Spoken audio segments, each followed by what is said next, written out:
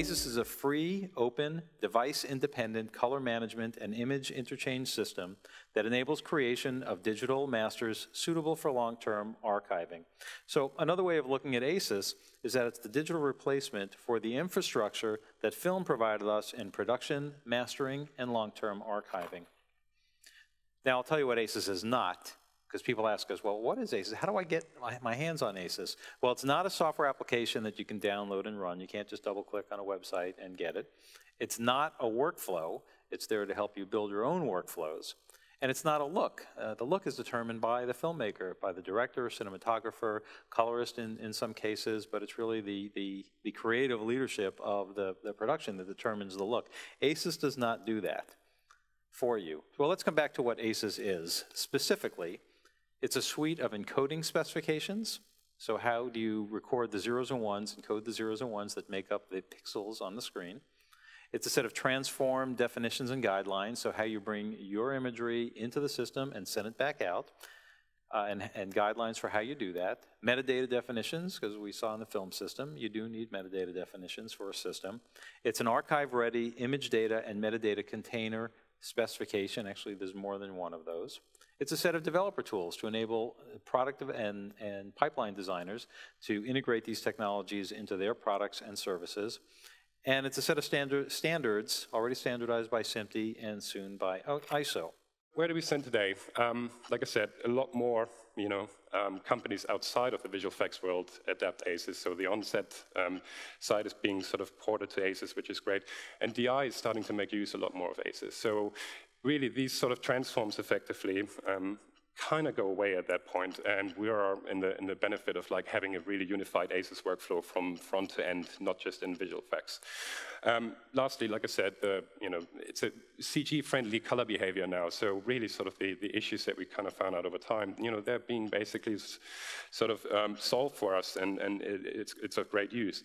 Um, Standardized screen representation, obviously a huge benefit. Everyone is seeing the same picture, especially if you deal with um, clients. Um, they, you know, visual effects is such a color-sensitive sort of work and environment that you find yourself, and you want to make sure that everyone is seeing the same picture in the same way, that you have the same conversation and, and the same judgment. Um, so where do we stand today? At the moment, uh, at MPC, we have like two larger productions that are, you know, fully in ACES, fully ACES turnover. It's King Arthur and uh, Miss P. It's a rather long name, so I'm not going to read it out loud, um, which is a Tim Burton movie. Um, all productions have moved to ACES-CG for the textual side of things and now HDIs. That is still up to date, really the standard, um, to remain show agnostic. And MPC as a company really encourages to yeah, use ACES you know, throughout the entire pipeline for the onset side as well as the DI, because we see the huge benefit of like having the unified sort of color management across the whole process. Um, here I have a scheme uh, of the ACES framework or the ACES system um, um, and the part that affects um, us as a colorist uh, uh, mainly. So as you probably might know, on the left side you see that the source footage um, today nowadays uh, um, mostly from digital cameras gets converted to the common ACES color space via the input device transforms. And this ACES color space, as also mentioned before, is a high dynamic range and wide gamut color space, which means that these transforms can be without loss of image quality They can be done. And so all the footage um, gets converted to one or conformed to one unified color space. Then the graded images, the graded ACES images get uh, transformed on the output side um, and tone mapped to the dynamic range and the characteristics of the um, output display, let's say a projector calibrated to DCI-P3 or a video display um, calibrated to Rec 8086 um, for example. And here on the bottom, I added something um, for future color spaces that are uh, in progress or uh, some of them already done. So that's what's happening. What does this mean for me um, as a colorist? So um, my, my philosophy is that if a machine can something do better than a human being, so for example me um, as a colorist, then I think the machine should do the job. And one big example of this is uh, the matching of different camera color spaces. So this, for me, is just a technical process uh, to get those uh, different cameras to match. And I think my job is to apply the creative look. Um, and ACES helps a lot on, uh, on this side.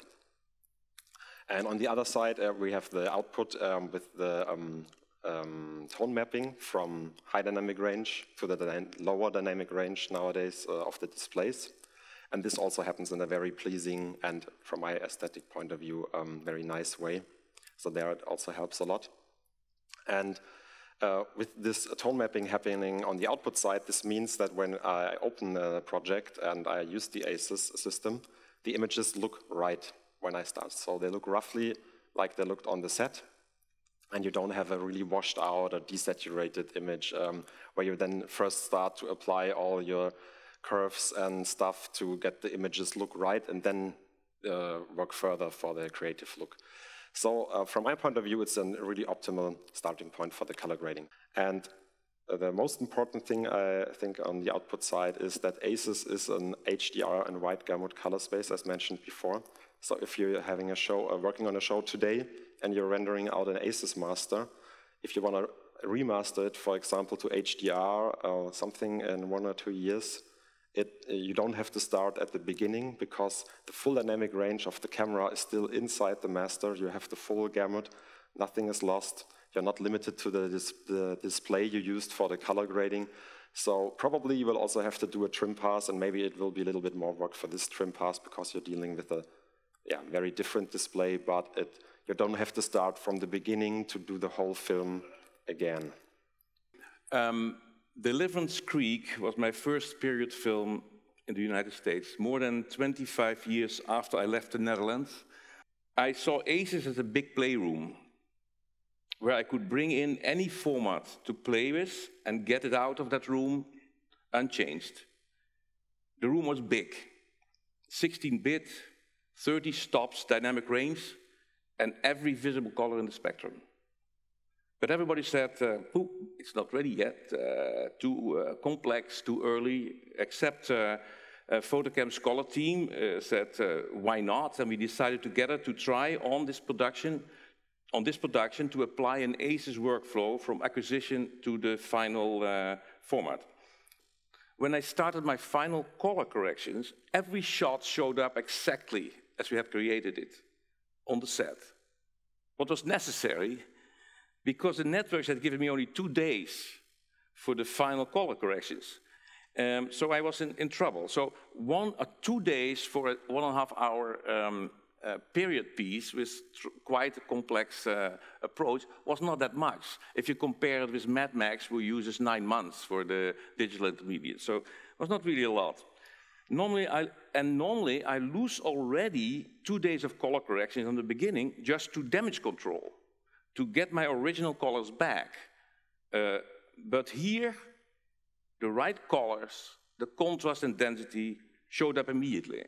And I could start directly doing the just subtle adjustments, the adjustments which, we, which you want to do in the DI. You, you want to do the little adjustments and, all these fantastic things you can do in a DI session. You want to do that as much as possible for the time given. So there were two days, not a lot. Uh, and, and, thanks to the ACES uh, problem, I could indeed finish my work that as I had imagined it in the short time that was given to me. The film got this year an, an ASC nomination for Best TV Movie, which I never would have gotten without ACES. Deliverance Creeks had a complex period look on a very low budget and an extremely tight schedule. But if you know what you want, ACES is your buddy and can help you through the entire process from pre-visualization to distribution, archiving far into the future, with confidence and without any damage control. Thank you.